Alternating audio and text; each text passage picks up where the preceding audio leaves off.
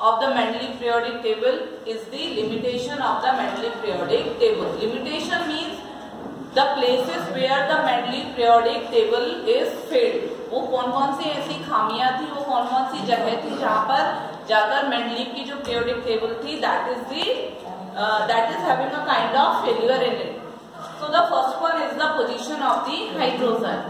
So Mendeleev does not give exact position to the hydrogen in his periodic table जो Mendeleev थे, उन्होंने अपनी periodic table में hydrogen को कोई एग्जैक्ट पोजीशन नहीं दी थी।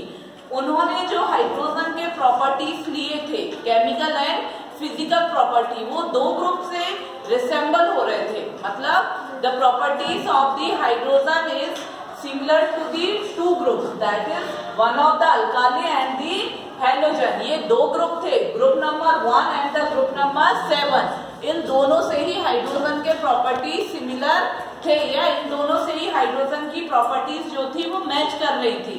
इसलिए हाइड्रोजन की जो एग्जैक्ट पोजीशन थी, वो डिसाइड नहीं हो पा रही थी कि उसको हम पीरियोडिक टेबल में किस पोजीशन पर प्लेस करें। सेकंड था पोजीशन ऑफ़ दी आइसोटोप्स जो आइसोटोप्स होते हैं, उनके वेट कैसे होते हैं? डिफरेंट होते हैं, ठीक है? वेट कैसे होते हैं? होते हैं। लेकिन लेकिन इन्होंने क्या किया था? डिफरेंट वेट होने के बावजूद भी उन्हें सेम प्लेस पर प्लेस कर दिया था। थर्ड जो था that is the anomalous pairs of the element इसका मतलब है कि यदि कोई एलिमेंट जिसका कि एटॉमिक वेट ज़्यादा है, वो क्या होगा? उसकी पोजीशन बाद में होगी। लेकिन जो कोवाल्ट है, उसका एटॉमिक वेट ज़्यादा है in comparison to the nickel even after that इन्होंने क्या किया था? कोवाल्ट को निकिल के पहले रख दिया था। तबकि एटॉमिक वेट ज़्यादा, जिसका एटॉमिक वेट ज़्यादा होता है, उसको हम बाद में रखते हैं। जिसका एटॉमिक वेट कम है, उसको हम पहले रखते हैं।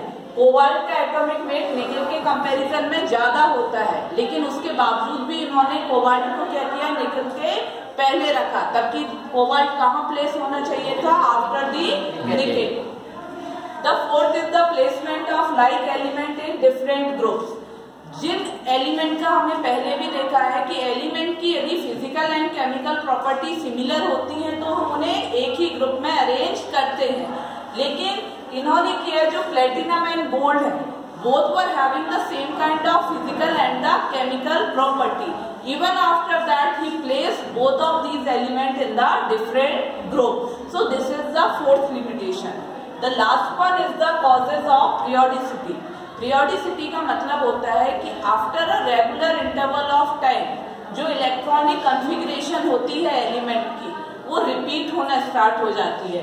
जैसे electronic configuration n s one n s two ये क्या होती है? इलेक्ट्रॉनिक कन्फिग्रेशन होती है। ये एक रेगुलर इंटरवल के बाद क्या होती है? रिपीट होना स्टार्ट कर देते हैं।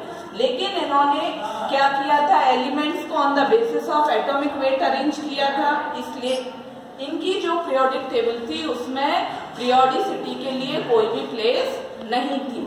सो so, ये जो पाँच पॉइंट है on the basis of these five point the Mendeleev's periodic table is failed ठीक है? ये वो पाँच पॉइंट है जो उनकी लिमिटेशन थी जिनको उन्होंने अपने पीरियोडिक टेबल में क्लियरली एक्सप्लेन नहीं किया था।